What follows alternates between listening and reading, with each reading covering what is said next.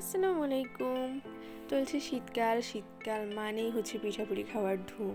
তো আমাদের দেশে হচ্ছে যে শীতকালে পিঠাপুলি খাওয়ার যে একটা আমেজ, এটা আসলে ঐতিহ্যে পরিণত হয়েছে। শীতের সকালে গরম গরম পিঠা খেতে কার না ভালো লাগে বলেন? শীতকালটা কিন্তু এখন বেশ জমে উঠেছে, খুবই ঠান্ডা পড়ছে বাহিরে। তো এর মাঝখানে আম্মু ভাবা পিঠার আয়োজন করেছে।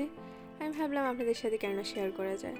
তো আমি হচ্ছে যে আম্মুকে সাহায্য করছিলাম এমন সাইজের কয়েকটা পাটালি গুড়। আমি চারটা ভেঙেছি।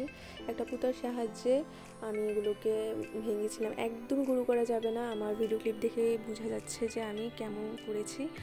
তো এভাবে আমি চারটা পাটালি গুড় ভেঙে নিয়েছি। এখন একটা পাত্রে চালের গুঁড়ো নেওয়া হয়েছে এবং এর মধ্যে স্বাদ মতো কিছুটা লবণ দেওয়া হয়েছে। দেন হাত দিয়ে লবণগুলোকে ভালোভাবে চালের গুঁড়োর সাথে মিক্স করে নিতে হবে। তো এখন কিছুটা পানি মিক্স করতে হবে, যেটা আমি অফ ক্যামেরায় করেছি। আসলে আমি ভিডিও করেছি কিন্তু ক্যামেরা অন করতে ভুলে গেছি। পানিটা যখন চালের গুঁড়োর সাথে মিক্স করা হবে, তখন দেখা যায় যে দলা বাগিয়ে যায়।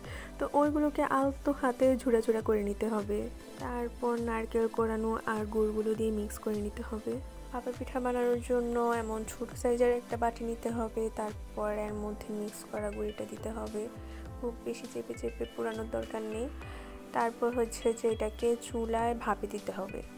ভাপা পিঠা বানানোর জন্য আম্মুই হাঁড়িটা বানিয়েছে। এছাড়া ভাপা পিঠা বানানোর জন্য আলাদা হাঁড়ি পাওয়া যায়। আপনারা চাইলে ওইগুলো ইউজ করতে পারেন। এটাতে হচ্ছে পানি গরমে বসিয়ে আম্মু পিঠাগুলো বানিয়েছে। তো পিঠা বানাতে বানাতে দেখা গিয়েছে যে হাঁড়ির পানিগুলো গরম হয়ে গেছে। তো এই পর্যায়ে আমরা হচ্ছে পিঠা দিয়ে দিচ্ছি হাঁড়ির মধ্যে। ওর বাটিটা আস্তে করে তুলে নিতে হবে দেন নেট দিয়ে আবার ঢেকে এর উপর দিয়ে ঢাকনা দিয়ে ঢেকে দিতে হবে। এভাবে পাঁচ মিনিট ভাপে দেওয়ার পর আমরা ঢাকনাটা উঠিয়ে নিয়েছি। তো এখন দেখতে পাচ্ছেন আমাদের পিঠাটা হয়ে গেছে। তো পিঠাটাকে এখন একটা ছাইয়ের মধ্যে নামিয়ে নিব। ব্যাস, আমাদের পিঠা হয়ে গেছে।